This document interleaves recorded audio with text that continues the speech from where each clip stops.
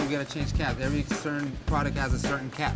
So what we're gonna do today, I'm gonna teach you how to change the caps. Okay. So we go, we're gonna have to open the chute. See how the chute, we have all the caps inside of Oh, it. yeah, yeah, You see them? Okay. yeah, yeah. So how we open it, oh, see these caps? We're running, we're gonna run Rocket Fizz caps. We're doing Rocket Fizz, so we don't need black ones. So these are gonna be on, then you just pull it. Pull it towards that way, pull it back, there you go. See that?